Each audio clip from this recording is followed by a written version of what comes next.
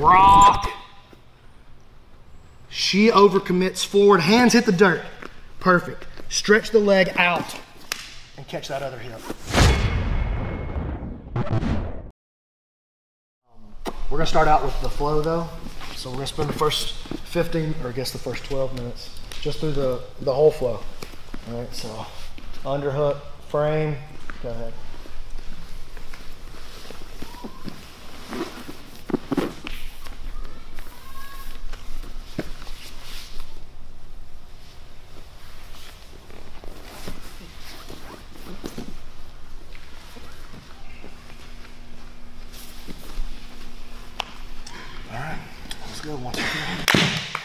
He's gonna be on her knees here. I'm gonna be playing either my butterfly or my half. We'll play from the half today. And she's gonna be playing in tight right here, okay? One of the like classic moves in jiu-jitsu is the arm drag, right? So we're gonna play for the arm drag. So we won't worry about the setup too much. I just want you to think about it like this. Sit through, tighten it up and hold the back here. And now we're gonna do a big kick up and out the backside. Take the hip. All right, so use that hook right up here in the back of the tricep and then a big momentum to sit yourself up. So the leg drops an inch and my chest rises an inch. We move together. That's all. Carlos we call that getting out of bed in the morning. That's how you get out of bed. No, a lot of momentum. All right, now Lindsay, she's smarter than that. She's not gonna just stay there and let me drag. As I drag, she's gonna pop up on this foot. So, so she can react a couple of different ways. If I sit up, she can hide her back from me by just rolling to her back right there. All right, and then she could maybe think about a re-drag right here, re-drag, turn the corner. Okay, go back. So that's one reaction. But that's a really large and technical reaction, and it's not the one that most people give against an arm drag. The one that most people give is the first one you gave where you just pop that foot up. Perfect. Now I can't get to the back anymore. There's a barrier here between us. But it'd be real easy for me to just slip right into the deep half. Got it? So once we're under in the deep half now, we're gonna, I want you to try to keep this foot on the floor. As the top person, if you can keep your foot on the floor here, then you're gonna be able to do um, like more powerful movements. You're gonna be able to keep your base a lot better. And really, to tell you the truth, you'll be able to just stand up and leave if you want to. Stand up. I can't stop you from standing up if your foot's on the floor. Okay, that doesn't mean you're getting out of there. But if did y'all watch this UFC Saturday night?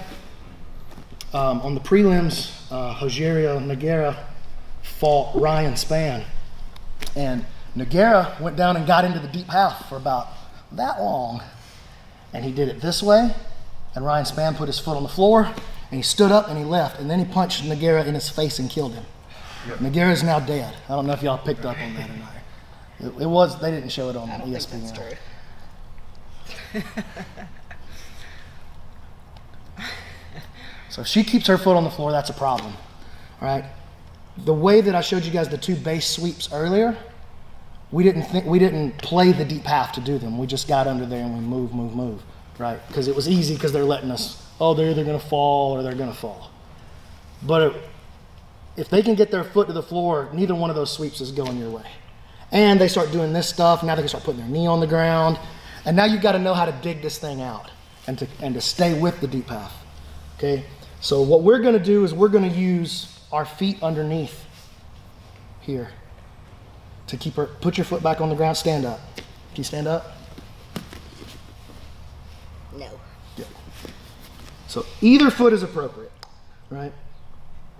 I can lift with this one. I can lift with this one. I can extend with this one.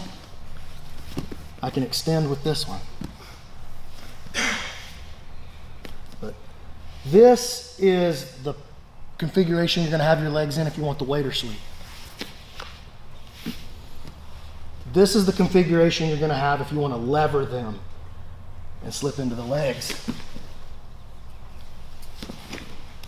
And then this one is the one that you're going to have if you want to start trying to slip to the back.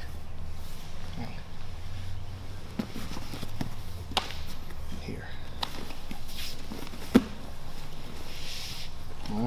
So top partner, your job is we're going to arm drag, we're going to get into the position, and your job is to keep position, right? You can pass, uh, sub, whatever you want to do. I have to just keep her foot off the floor and maintain position. That's my goal. Sweep if you want, that's fine, but I really would rather you spend extra time in here almost losing the position and then getting back in. And then she almost gets swept and then we get right back to the game. So let's play a little bit here. Go.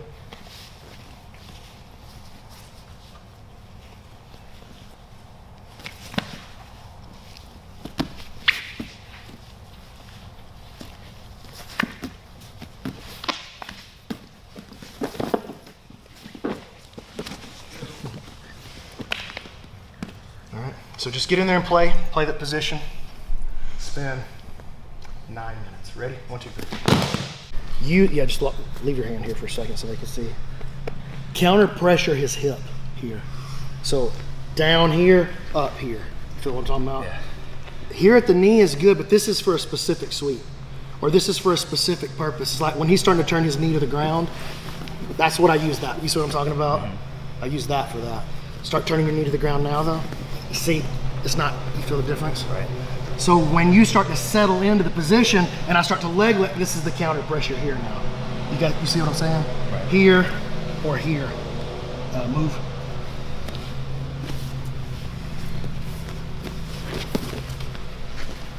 Got it? One, two, three. All right, so once we're into our position here and the ankle goes under, this hand is now doing counter pressure, right? Here. If you need to move, this foot goes to the floor so you can move yourself around. And that really gives me a lot more um, mobility just by having that foot on the floor. It gives me mobility this way, I should say. If I want mobility side to side, I take my foot off the floor. You see that? But if I need to move my hip in or out, I need my foot on the floor. If I need to bridge, put my foot on the floor. All right. the other thing I want to show you guys is now I'm going to start to rock her. I'm moving her back and forth, checking her. Where is she going to fall? And I catch her hands hitting the ground. Oh, so that's where we would normally just pop out the back, right? But because I have this foot underneath now, what I'm going to do is I'm not going to lift her. I'm going to stretch her out right there. Hold that hip, and now drag her back into this spot. She's to continue to try to run, and we're to stay on that crab ride right there. Okay, so here and here. She's going to Granby one time, like try to roll across your shoulders. Keep going. me too. Me too. That kind of was like a me too, because when she put her butt in my ass.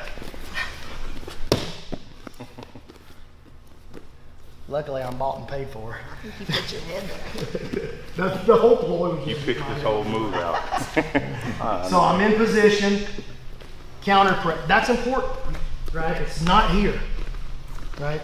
This is this is this has a utility. It's a good way to play this position, but not now. That's the difference. It's not muscling. I'm not muscling her down. I'm closing my elbow. And now the play is going to be rock. She overcommits forward. Hands hit the dirt. Perfect. Stretch the leg out and catch that other hip. She's to run. Probably to hit her back to the mat right there. And you can slide in, start windshield wiping, taking the back. Or if you get out to here and she tries to run, or not, I mean roll, sorry. She tries to roll. We're gonna roll with her and stay on the hips. You guys got it? So uh, Ben, come check that.